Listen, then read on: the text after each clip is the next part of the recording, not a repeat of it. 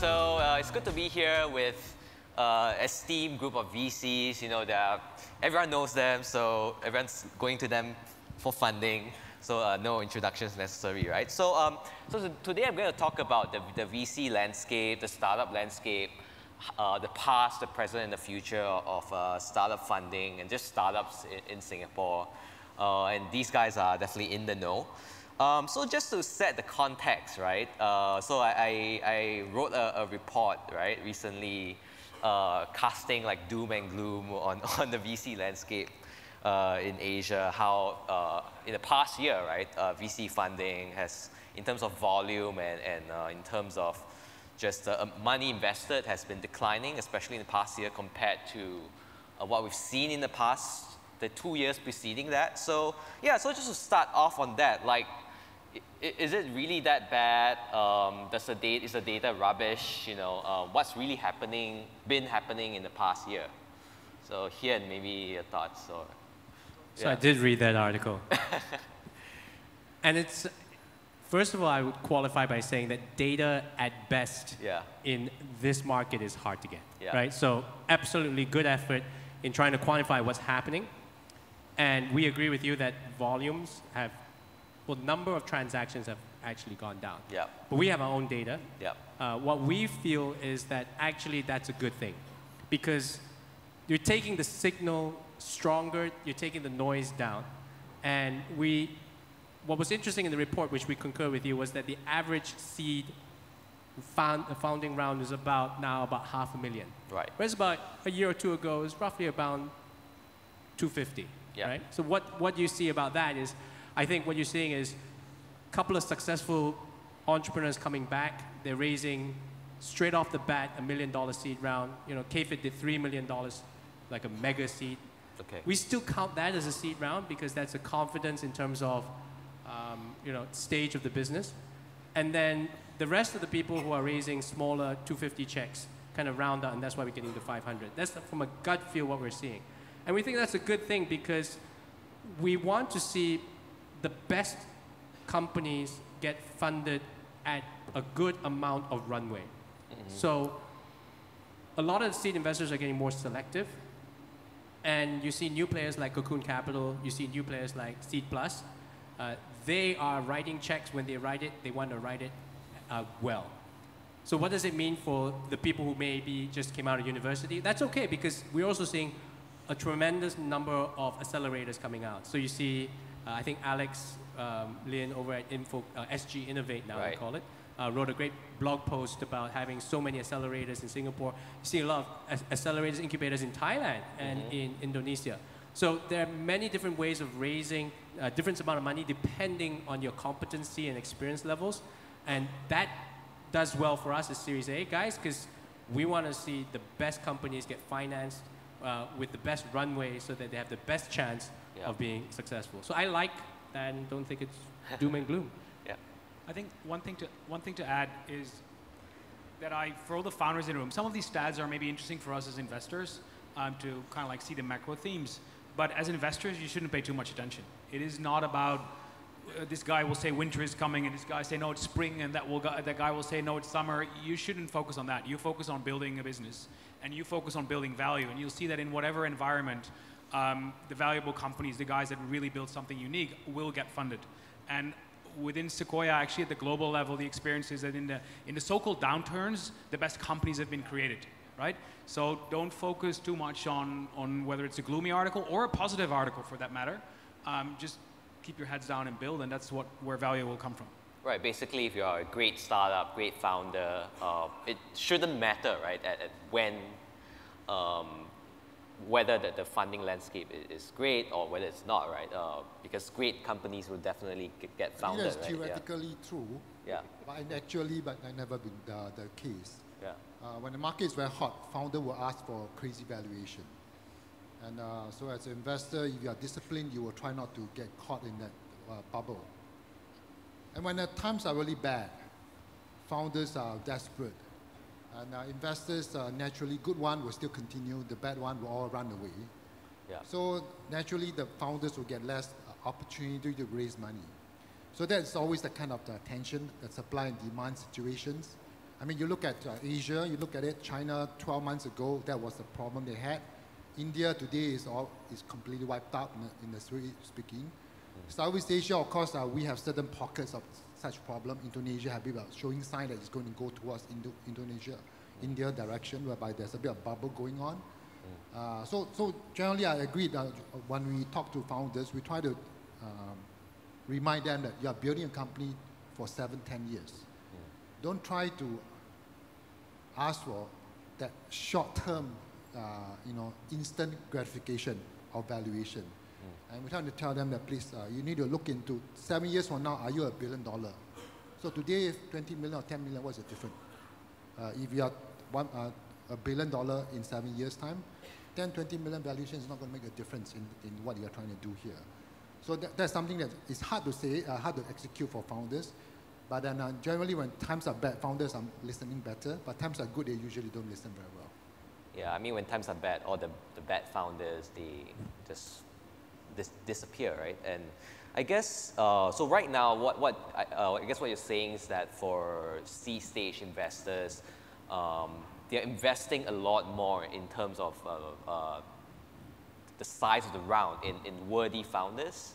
Um, because that gives them more runway to prove their product and I mean, one, one flip side to this is Yeah. that I'm seeing that the founders themselves who are trying to get those fundings are a lot more contextual and they're a lot more knowledgeable. Right. So on one point, you might have investors being a lot more uh, careful about the fund deployment and, and liquidity deployment, but on the other end, you see a lot more founders understanding that yes, their product might not be ready for prime time seed, and they'll- those cadences are actually changing on both fronts. When I look at what's happening in Southeast Asia and even Asia specifically, in Korea specific, uh, in Korea, as as Hyun would say, they will go in the, in, into an accelerator, slow down their pace of funding and their overall idea of how they want to build out the business, and then find out and understand that through the market and compared to the market, I am ready and I am not ready. Those things are a lot becoming a lot more uh, developed, I, I would say. It's, it's like the, it, the whole thing is starting to silo in the same way that you see in a mature ecosystem, right?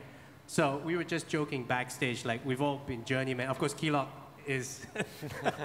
I was covering Vertex was a banker at 26 years old, uh, dot com 1.0. We've seen the cycle, right? And the cycle got rebooted in 2010. And it had to be rebooted in a certain way, so we cannot criticize or make comment as to whether there was overfunding on the seed level or whatever. Let's talk about what we have today. We have very siloed seed guys, we have very siloed A guys, we have very siloed uh, B, and then hopefully, you know, you convince KKR to give you half a billion dollars. What do you mean siloed? Siloed as in, like for us, we do A, if we see a good seed team, we pass it on. We really do, right? I mean, that's just our firm. And we maintain great relations with the seed people. We know their flavors. We kind of pass the buck on, and we hope to get the ball back. And okay, we also have, um, you know, as intimate a conversation with the B people, and then we move forward. So the question Are- is would- sort of would like, you, would is it you agree that those that those uh, that the borders are blurring? Because I, I, I felt that two two years ago, three years ago, when it was just uh, the, the TIS incubators and it was either a 600k round or anything else, those silos were very strong. Yeah. But now, like we do, A, B, C, whatever. You do but, A, B, C, but, D, but, but E, F, sometimes, G, but sometimes, Sequoia. but sometimes seed. Yeah. Um, but you also see a lot of the TIS guys raise new funds and now can do rounds from 500k to 3 million. But they also tell people they don't want to do seed anymore. They're moving into A. I almost feel like they say that, right? And then like you look at Jungle, they sort of spawn seed plus and go, right, Michael Smith, you do that. And I think we're not at the time where we're seeing um, stage agnostic billion dollar funds, right? I mean, Kee Lock, maybe you can comment No, no, on I, that. I, I agree again. I mean, everybody has different skill set. If you are good in A, you're not necessarily good in C. I always remind our people, you know, the table tennis and tennis looks alike. Huh? It's, uh, it's uh, actually all about hitting a ball across the net, right? But then, if you are a world-class table tennis player, doesn't mean you are a world-class tennis player. So I think I agree again. I mean, uh, if you are good in A, you're good in A. Uh, seed, you pass on to somebody else. Somebody else better in seed, and then do the seed. You're better get- in yeah, uh, yeah. C round, you do C round. That's matter. Everybody with- have their own yeah, skill I guess with Jungle, it's like they they're siloing within their their, their firm, right? Seed Plus. So that's a good thing, yeah. right? So they, they got the right sort of table tennis players to play table tennis. Yep. And I think the jungle guys with, you know, the few people, they, they're also moving there. you look at the evolution of what we did. We came in to solve the Series A problem three years ago. In fact, that's what we were talking about. Uh, there is no Series A problem, in my opinion. Now, there's 600 million last I checked. Now, the question to what we're talking about today is, is there, because is the landscape evolving, right? Is there a Series B problem? Now, the first thing I would say is, I don't think there's a seed problem. So I think the first thing I wanted to say is, I think the seed is getting better because people are putting real money, their own money. Um, you know, the seed and angel investors are experienced operators. They believe in the region. They're coming to this region and they're doing it, and they're being more selective. And they also look at what all these Series A guys want to invest in, and if you're kind of like not in that pattern, Yeah. then they're, they're going to maybe not want to invest in you unless they really believe in it. So the, the, the, the, the selectivity in seed, I think, is a good thing. Now the question is, is B going to be, um, you know, built out? I think B is currently being built out at this point of time. Yeah. So how has uh, so we mentioned how the, the landscape's evolving. You know, you mentioned that there's no longer a Series A crunch. So how has each of your firms evolved your, your change your approach in, in just this year, right? So like, how's Rakuten doing things differently? How's Sequoia? I mean, for, for Rakuten, we've, we've remained pretty consistent. Um, just going back to kind of the Series A, Series B discussion, we haven't looked at it specifically in that perspective. We have, what we have done is focused on verticals that we want to invest in. Yeah. So if you look at ad tech verticals, and if you want to build out, for example, a very, very proper DSP or an SSP, the capital requirements to build that out properly are very different from building out a Carousell, right? So because of that, our Series A could be just as well as 10 million US dollars, where we did a 1 million dollar Singapore, uh, you know, a, a seed round with Carousell. So in that perspective, you know, I think for us, we've tried to remain consistent and true to the verticals we understand and then push into it so that at least we can further support the companies that we believe in. Uh, for the past four years, um, our stable of portfolios has not gone over 20 companies, and that's been very deliberate. We've actually used that liquidity to redistribute into those very companies, and I believe that's been able to give the companies a lot more focus and a lot more time to think about how they want to meaningfully build out their business.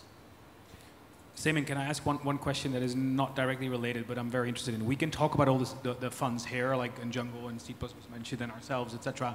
But there's a lot of money coming in from Japan and specifically China. Yeah. You're obviously slightly different coming from a, from a corporate venture fund, if you like, and from China. What's your view on uh, outside money coming into the region and how the, what the role is in the ecosystem?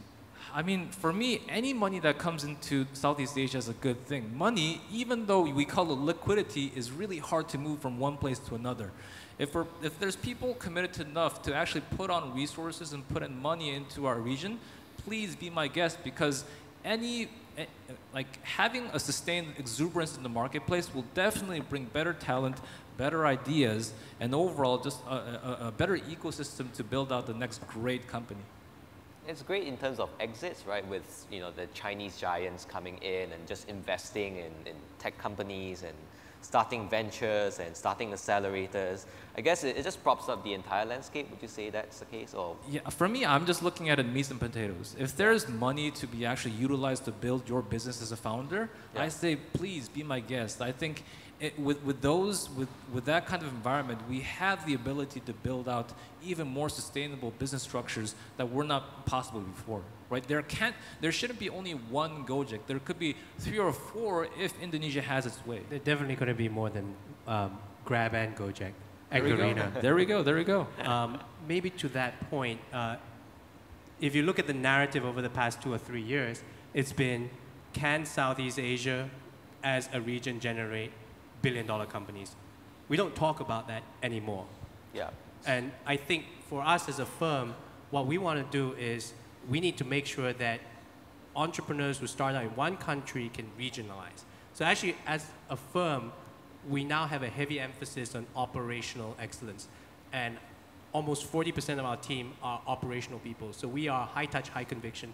Once we sit on the board, uh, we really leverage into getting your C-level suite going, your growth hacking being measured, and operational variance analysis on your board level to prepare yourself uh, for the Series B round.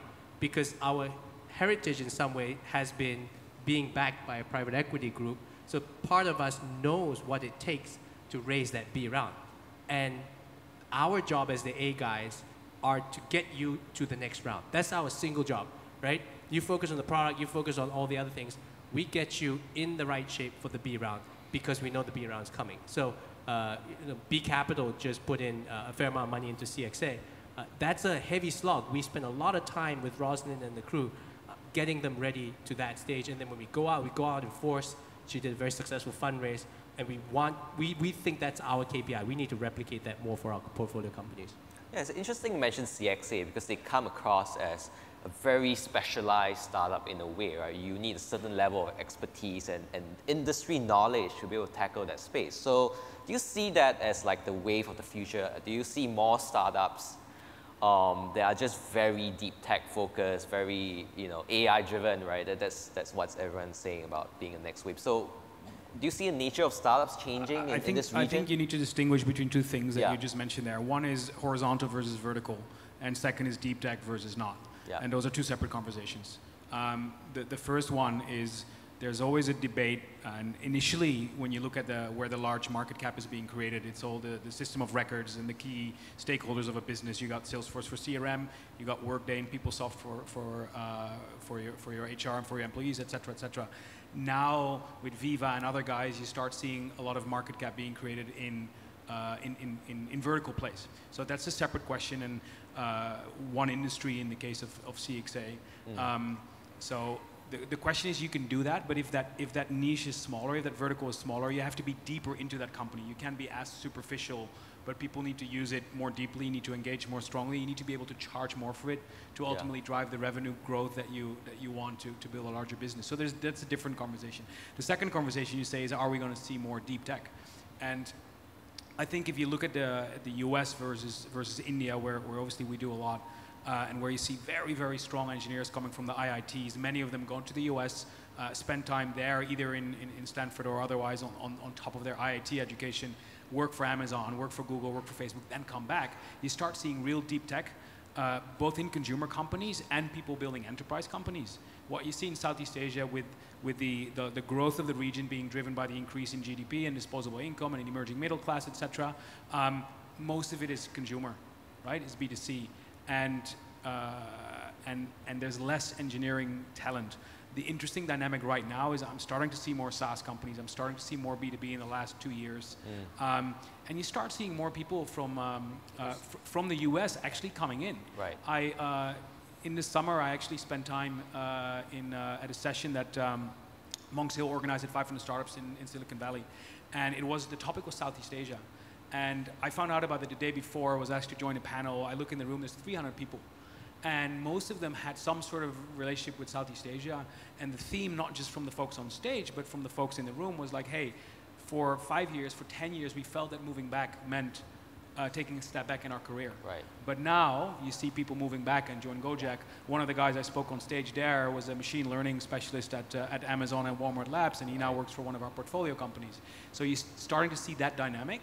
So we're not there yet, but it's, it's moving in, in a positive direction. But again, talent and, and hiring is, is, is the main thing uh, from an engineering point of view.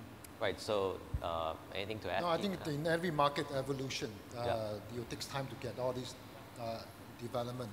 I mean, I recently I was talking to somebody uh, who spoke to me 10 years ago about China VC market. They were asking exactly the same question you were asking. Today, nobody asks that question anymore in China, right? All the technology, all the ecosystem, all fully developed. Southeast Asia, I think we are in that initial phase. I think uh, I agree with Hian about the Series B crunch. So those are issues that are facing some of the company, but it will be resolved over time. And uh, all these things about the investor coming from Korea, from Japan, from China, these are all good, thing, all good things. There will be some smart investor, there will be some dumb investor, doesn't matter. Uh, ultimately, uh, this is good for the ecosystem. Uh, some people will make money, some people will lose their pants, some people will lose their shirts. Doesn't matter. I think that that ultimately the ecosystem need to have all these things going. Uh, you know, the, uh, I, I, I, I always mention that the, uh, it's important to have money, but money is not necessarily the only condition. You need knowledge, you need people, you need market, you need execution, you need a lot more things than that.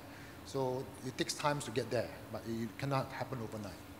Yeah, so right now it seems, uh, as Pieter mentioned, that the talents moving back or, or moving to Singapore, right? And, and uh, kind of stirring the pot a little to, to create uh, this concentration of talent that perhaps one day can, can rival uh, Silicon Valley or China in terms of just concentration of talent? Uh, do you see that being um, possible within the next, I don't know, five, no, five years? I think it's, it's already happening. And, yeah. and you said to Singapore, it's not just to Singapore, it's yeah. to, to, to, yeah. to the region. Like uh, one of our portfolio companies, um, Tokopedia in Indonesia, uh, we were very active in, in helping them find their VP of engineering, who's made a massive difference, the VP of product, who were both very coveted individuals, professionals in, in India.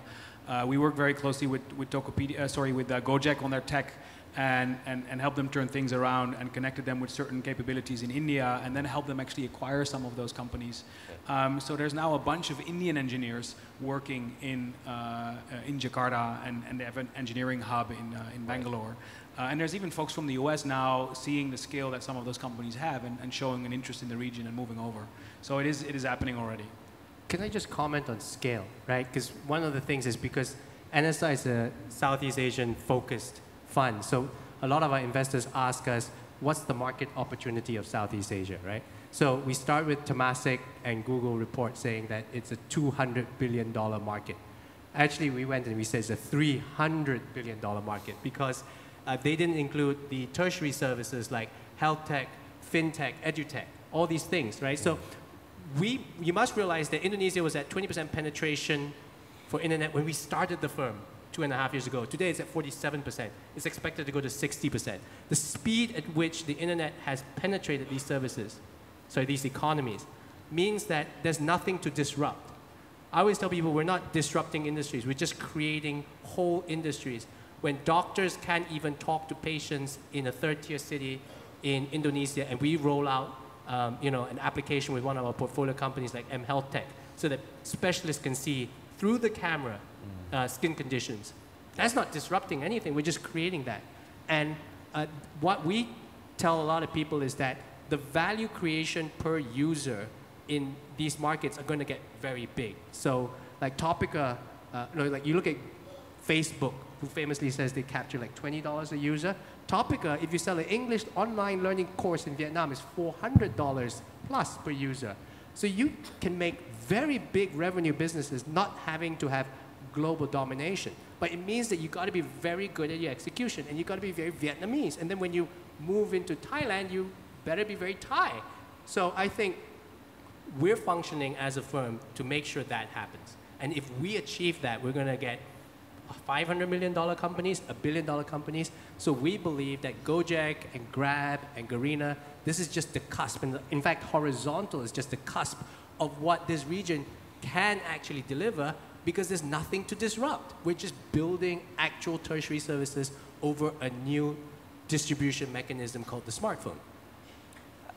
I guess it's interesting you mentioned creating value for users in places like Indonesia, Vietnam, Thailand, where you know they're kind of trying to catch up in some ways. Um, monetization is it going to be a problem because uh, while you're creating value for these people, right, introducing new services, yeah, you know, so do they have the pockets? I famously came from the media business. I would never necessarily invest in an OTT business yeah. because the piracy is so great. So there are structural issues that you have to worry about.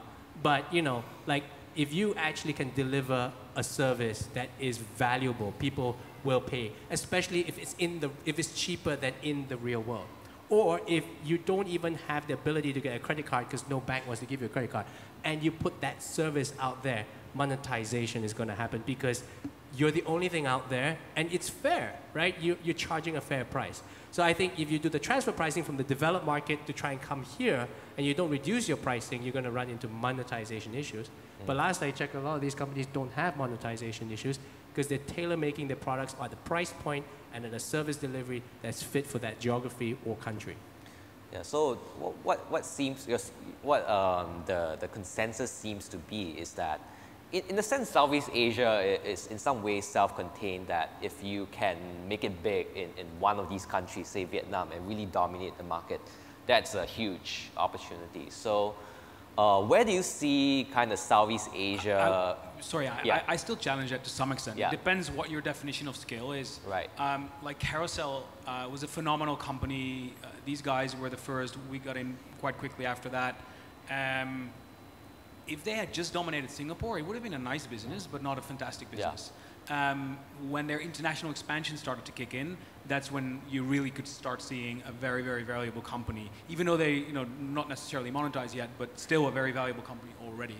Um, it, it depends what your definition is. If you're a seed fund and you invest whatever a million dollars and you can see a 30 million dollar outcome, that might be nice. Yeah. For uh, a larger fund, uh, Vertex or ourselves, um, that might not be sufficient. Um, and hence, if we look at the market, we're basically saying that in, in all markets in Southeast Asia, except for Indonesia, it is very tough to build a domestic business that could hit the scale that we would like to see. Um, and in Indonesia, it can only happen in certain verticals, like, like obviously Tokopedia as the horizontal marketplace. Yeah. Uh, Tokopedia, uh, Gojek being in so many different uh, aspects. For all other businesses, being very deeply Thai and just being in Thailand, you might again build a nice business, but not a very large business. Right. So we actually like the fact that companies in our portfolio like 90 Seconds, you know, already have offices in, in London, in the US, in, in Japan, in, in Australia, etc. Uh, guys like Nugit, which is homegrown in Singapore, but their largest customer is actually in Menlo Park, uh, Facebook. Uh, the fact that they start seeing global traction and start, start showing that they can actually drive revenues from a global market rather than just one country in Southeast Asia or even all of Southeast Asia is actually And can I thing. just add, once you build a regional business, you're very interesting as either an investment or, or an M&A because it's really hard. So that um, so-called negative to us is actually a positive because um, you know you become a very rare uh, or very precious good, um, and people want to either you know partner with you or, or buy you. Yeah, build- I, I think yeah. the, the fact remains is that Southeast Asia actually is a very uh, fragmented market. That one we have to recognize. I think, I think uh, we're not China, we're not US, a single uniform market. Uh, so we have to recognize that. I think one of the key points I think many panelists saying is that uh, the company had to pick the market they want to start with, execute well in the market, and roll out over time beyond their whatever the home market they may develop. I think the key issue is you have to pick the right market first to start. Whether Carousell, whether uh, Garena, Garena market, you have to pick the right market to start with, and then roll out over the region. But each market is different, language is different, law is different, religion is different, even you know the way they, they, they execute the plan is different. So they have to recognize the, the differentiations. Yeah, so it, it sounds like the, the regional so-called fragmentation is actually an advantage if you're able to build a, playbook and successfully expand and dominate the different markets. And it's very hard for someone to come in, right? Just like it's hard for someone to go into China and, and defeat the, the equality, right? So it sounds like, yeah, de- developing this regional playbook is, is critical, especially if you're horizontal I mean, also, I wanna, I wanna, I wanna bet, uh, like, uh, lean heavily on the fact that there has to be also right fit between the founder and the investor because this is happening a lot in LATAM and some of the other developing markets where the, the fundamental relationship between the LP and the, and the investors are changing, whereby they are starting to allow smaller return ratios to actually occur from larger VC firms. So, Right. for example, you know, you, we, would, we would all look at the VC as a 100x return and the other is like 90% failing.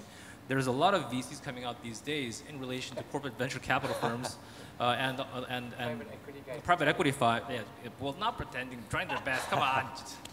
There's a lot of private equity people here, I think, also. But, but also for the fact that they're, they're, the relationship, stabilizing that LP to, to, to, to investor relationship also helps founders find the right match so that it doesn't have to be a regional playbook that makes you a unicorn. That's great for me as a VC, but also there will be more and more VCs that are tailored to meaningful returns, as in maybe a three to four x return that Right. still develops a, a win-win for the, the, the, the, the raft of the actual stakeholders.